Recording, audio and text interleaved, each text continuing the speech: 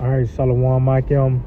First and foremost, I like to give all praise, honor, and glory to Yahweh, Bahasham, Yahweh Shai, Bahasham, Racha, Kodash. I like to give double honors to the apostles and elders of Great Millstone. I like to say Shalom to the elect that's teaching His word in all true faith and sincerity. And today, I just want to get into a lesson how Esau fate is, is gonna is pretty much is World War Three. That's his destiny. This this pretty much where the road ends with him. World War Three. And the scriptures outline that, you know, this man's um, his coming and how he's gonna go out. You know, Yahweh Shema Shai have built Esau, which is the so-called white man, up as this superpower that you see today. You know, this man, his technology, uh, the witchcraft. You know, it's set up to where there's nothing earthly you can do to overthrow him. It's gonna be a decree from the heavens that dictates this man um, violent um, overthrow. And one of those things the Lord is going to use is World War III, man, which is biblical. Matter of fact, let's start off with this in the book of Revelation, the sixth chapter.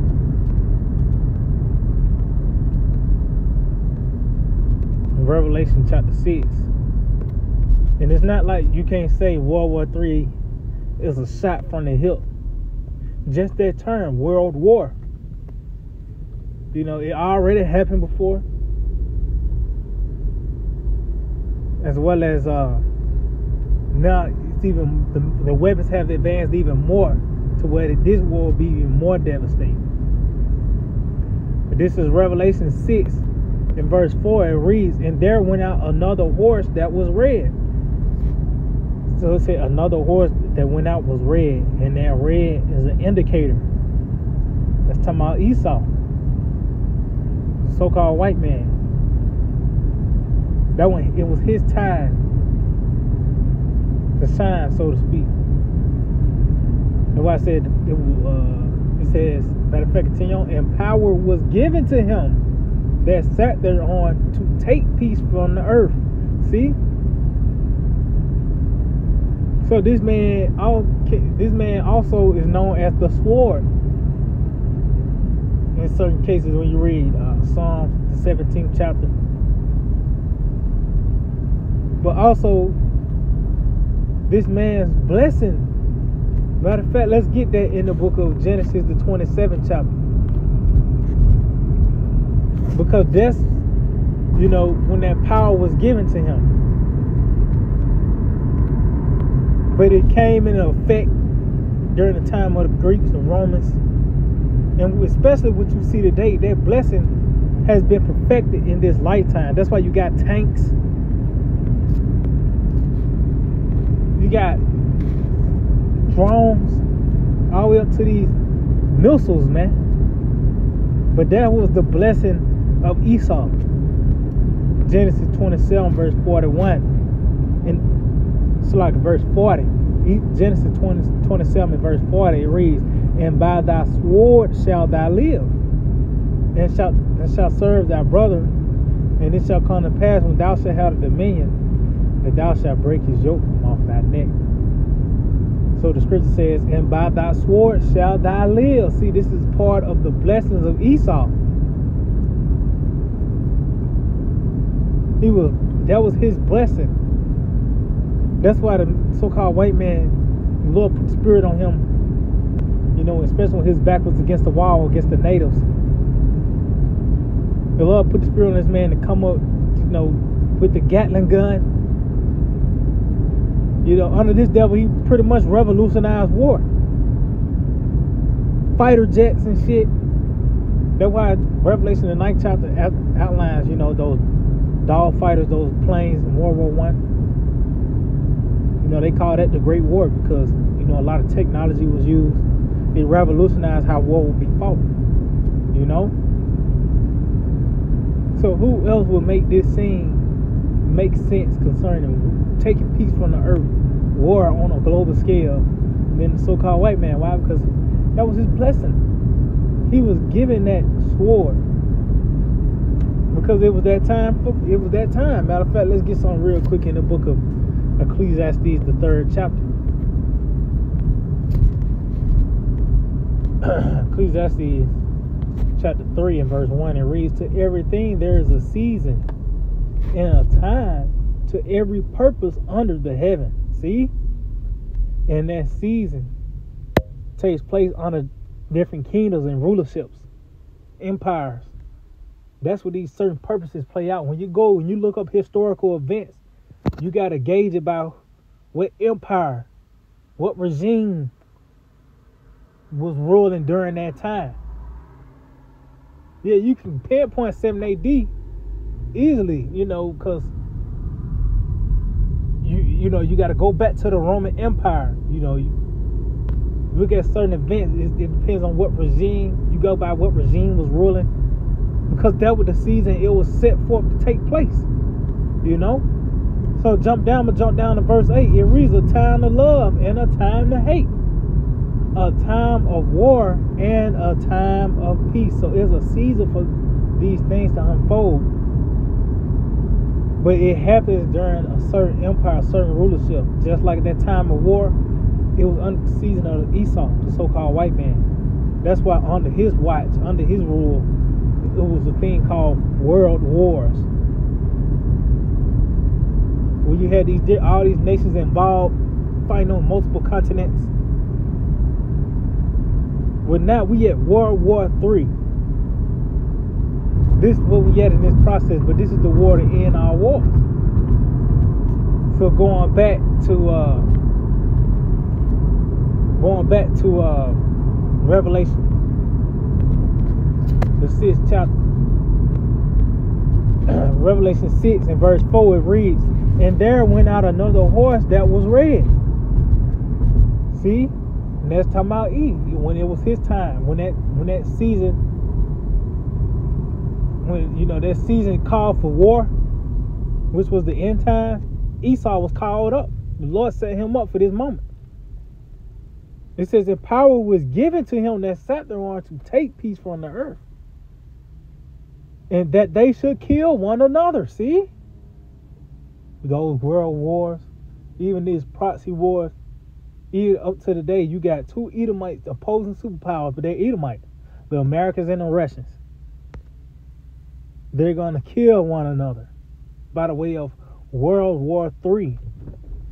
It says, and there was given unto him a great sword, and we just read who was whose blessing was the sword. That was Esau. But now it is great. It has been perfected in this lifetime. Matter of fact, let's get some because now this scripture makes sense now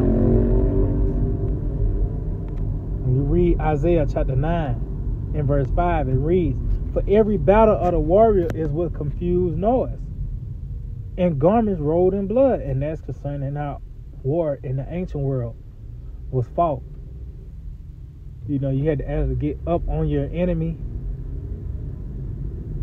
you know, and that ultimately will brought forth the strange noise, whether you thrusting him through, he crying out, or you bringing forth a war cry, or a, a sword hitting the shield, or bones cracking. That will brought forth the the garment. I mean the the, the uh, you know the confused noise as well as the garments rolled in blood because you had to get up on your enemy. It says, but this meaning this form of war, this battle how this war is, will be fought. He said, but this shall be with burning and fuel of fire. See? That's talking about World War Three. But that's the fate of the so-called white man. This is ultimately what's going to submit his downfall. The destruction. That this is his fate. And the scriptures constantly talk about it.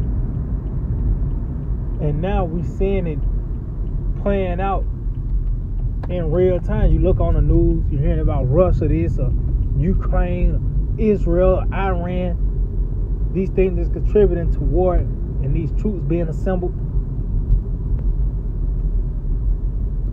All biblical prophecy.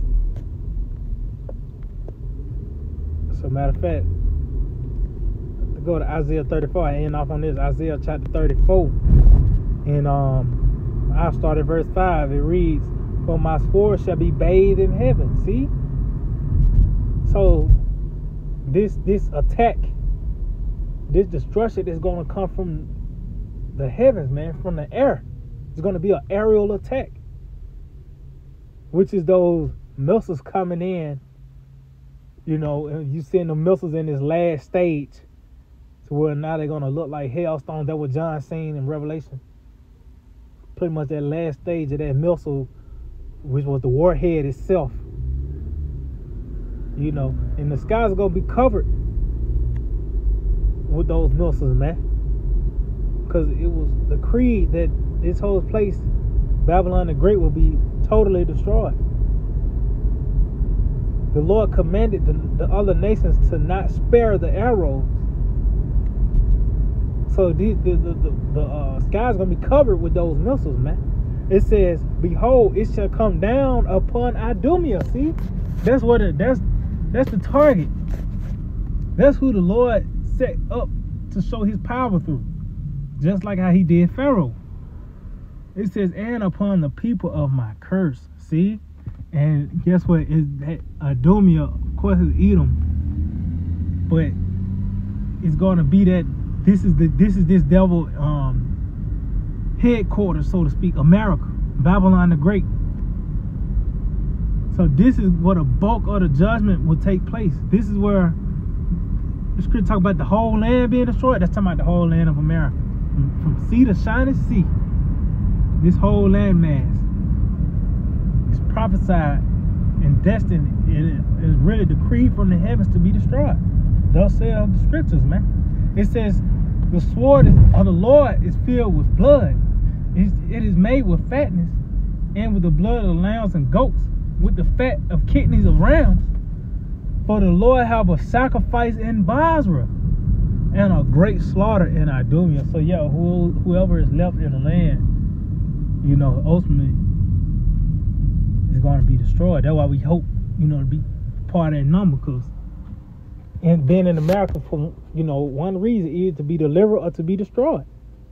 You know, but it said the Lord made a sacrifice in Bozrah. That's talking about America. But how would that take place? How would that judgment happen? Through World War Three. And this man's fate is written throughout the scriptures because this this is a monumental moment in history, man. This this is gonna go coincide with the return of Yahweh Shai. So yeah, Akim, I just hope that we're edifying. I'd like to give all praise and glory to Yahweh, Bahasham, Yahushai, Bahasham, Recha, Kudash. Double honors to the apostle and elders of Great Millstone. Shalom to the elect that's teaching the word in our true faith and sincerity. Shalom.